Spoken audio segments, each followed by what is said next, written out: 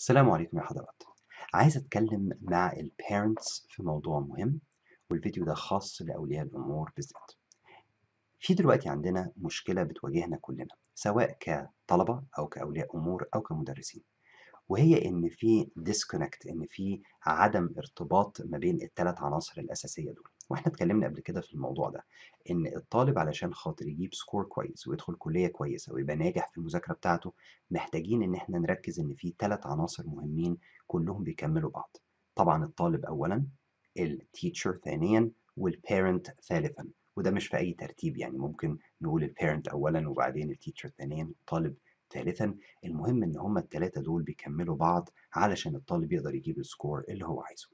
بنلاقي إن ولي الأمر بيعتمد على إن ال teacher بيعمل كل حاجة مع الطالب والطالب بيعتمد إن ال teacher بيعمل كل حاجة معاه أو إن ولي الأمر already متفق مع ال teacher على الحاجة اللي المفروض تتعمل وكأن كلنا بقينا passive يعني بقينا مستنيين اللي بيتعمل فينا اللي يتقال لنا اللي يتعمل لنا ودي مشكلة كبيرة جدا عمر ما طالب بيوصل ل score عالي وبينجح نجاح بجد كويس إلا إذا كان هو وال parents بتوعه proactive يعني هو بيذاكر من نفسه ال parents بتوعه بيتابعوا مذاكرتهم من نفسهم. مهم جدا جدا الكلام ده.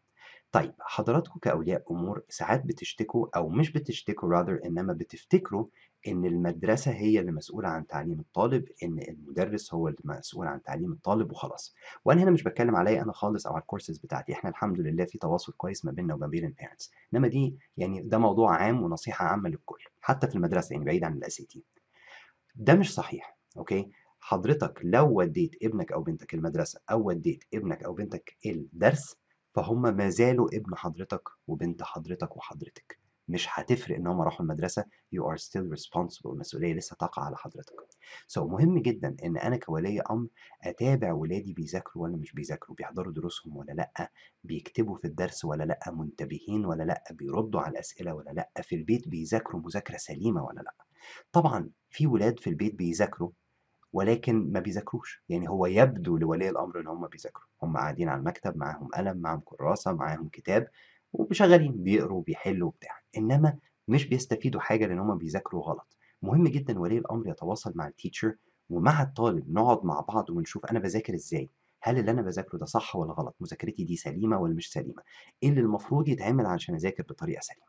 طيب هنلاقي برضو شكوى تانية من أولياء الأمور إن هم بيقولوا أنا مش فاهم الكلام ده. يعني أنا ال English بتاعي ضعيف فمش قادر إن أنا أتابع ال English بتاع ال SAT مثلا اللي ابني أو بنتي بيذاكروه.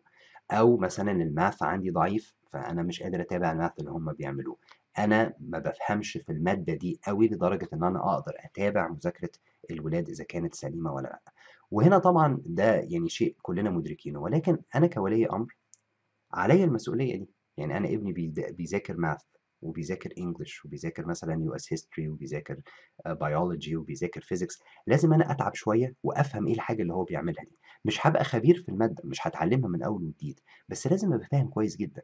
لازم حضرتك وحضرتك كاولياء أمور تبقوا فاهمين إن ال English بتاع ال SAT ده متقسم ل reading ومتقسم ل writing إن ال reading ده أصعب من ال writing إن ال reading فيه خمس أنواع من الأسئلة ال writing فيه تسع أنواع من الأسئلة.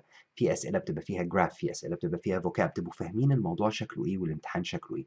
وإحنا بنحاول نعمل الكلام ده من ال videos اللي إحنا بنعملها لاولياء الأمور. آه، مثلا ال group زي group Right Way to SAT عاملين شغل كويس جدا في إن هم بيحاولوا يوعوا أولياء الأمور بنظام ال SAT وبالامتحان وبال American Diploma عامة والكلام ده كله. حضراتكم مطلوب منكم إن أنتوا تتعبوا شوية في الحتة دي وتبقوا فاهمين كويس قوي الولاد إيه الحاجة اللي هم بيذاكروها. نفس الشيء في ال math ونفس الشيء في مواد المدرسة. لازم حضراتكم تبقوا عارفين كويس الحاجة دي.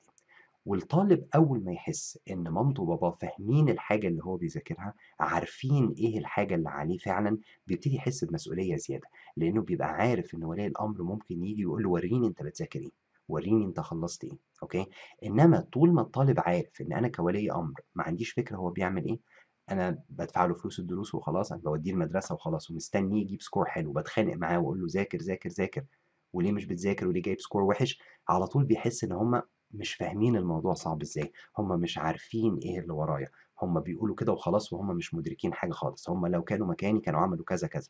دي بتبقى حجة الطالب بيضحك بيها على نفسه علشان ما يذاكرش بطريقة سليمة.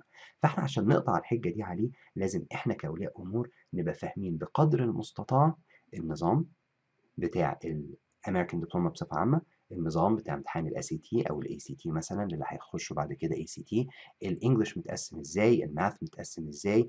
مواد ال EST 2 زي بيولوجي وكده متقسمة إزاي؟ اتكلم مع ال teacher حاول تعرف منه. اسأل على group زي Right Way to EST هتلاقي ناس كتيرة تدلك تفهمك الموضوع عبارة عن إيه؟ علشان تقدر تتابع مع ابن حضرتك أو بنت حضرتك ابن حضرتك أو بنت حضرتك. وده مهم جدا جدا جدا سواء نفسيا للطالب إن هو يبقى عارف إن إن ال parents فاهمين الموضوع ماشي إزاي أو كمان علشان حضرتك تبقى تبقى حاسس إنك مسيطر في الموضوع ده لإنك فعلا عارف إيه الحاجة اللي مطلوبة.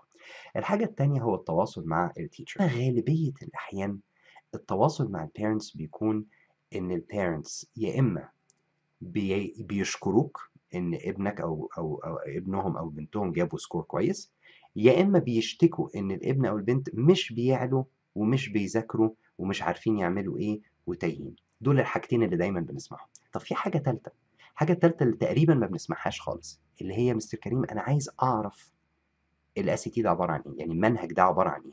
هو إيه اللي المفروض يتعلمه في الدرس؟ إيه اللي المفروض يذاكره؟ okay المفروض يوصل لإيه؟ عايز أعرف لما أبص على ابني أو بنتي هما بيذاكروا هل هما بيذاكروا صح ولا غلط؟ هل هما بيضيعوا وقت بيضحكوا عليا ولا هما فعلا بيذاكروا بطريقة سليمة؟ فدي كلها حاجات لازم نعرفها ك parents علشان خاطر نقدر إن إحنا نتابع ولادنا بطريقة سليمة ونقدر نتكلم مع ال teachers بتوعنا بطريقة سليمة برضه. يعني كان موضوع مهم وكنت حابب أتكلم فيه يا ريت يكون مفيد لأي حد. واشوفكم على خير إن شاء الله. السلام عليكم.